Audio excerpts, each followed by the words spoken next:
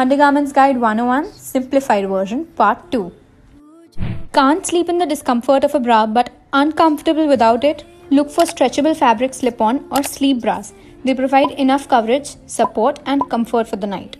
Next, if you're worried about wearing anything body hugging, then there are two types of shapewear to help you. One that's generally a tummy tucker, and the second one that covers the whole body right from your bust to your thighs.